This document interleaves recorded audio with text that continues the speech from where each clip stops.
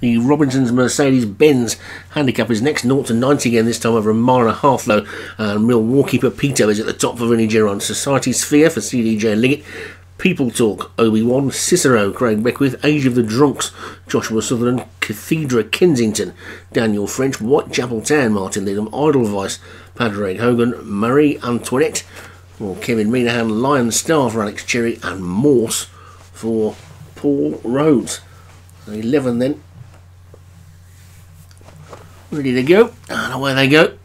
And all got out nicely. Now this near side, Cicero. Looks like he's going to be the first one to show. And that one's got to the fence, pulling for its head. Jockey's trying to restrain it, but it's still the leader. Cicero in the lead then from Morse in second.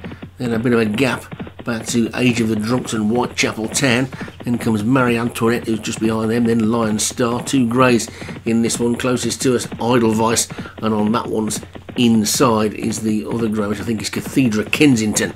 But it's Cicero, who's the clear leader from Morse in second, who's probably four lengths back in second there. Then comes Age of the Drunks, and then Whitechapel Town. Then People Talk, Milwaukee Pepito. Then comes Cathedra Kensington, and Milwaukee Pepito. Marie Antoinette is after that, and towards the back, Society Sphere might just about be the early back marker. Edelweiss is also nearer the back than the front, but it's Cicero who's in the lead for Craig Beckwith in the blue with the white sleeves. Then comes Morse in second place. After that one is Whitechapel Town. Age of the Drunks is still fourth. On the inside, People Talk is getting a little bit boxed in. Then comes Milwaukee Pepito after that one. The first of the greys is Cathedra Kensington. Marie Antoinette is also on the rail and is going to need a little bit of luck in running.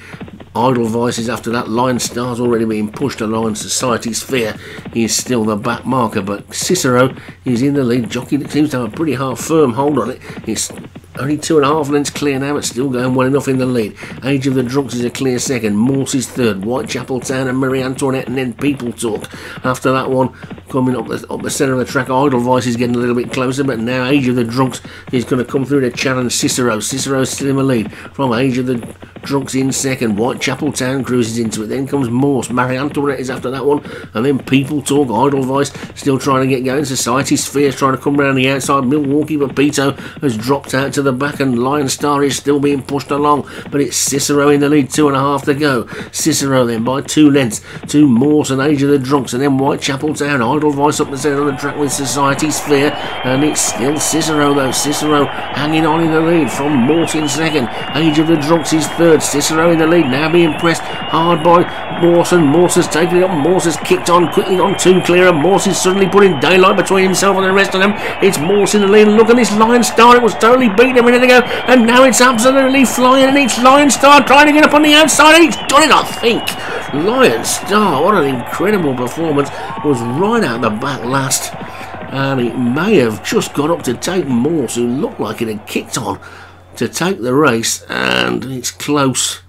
It's mighty close. Lion Star's at least got a share of it, and Morse.